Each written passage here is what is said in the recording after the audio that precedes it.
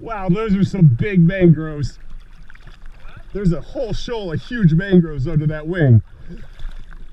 That big. Yeah, big ones.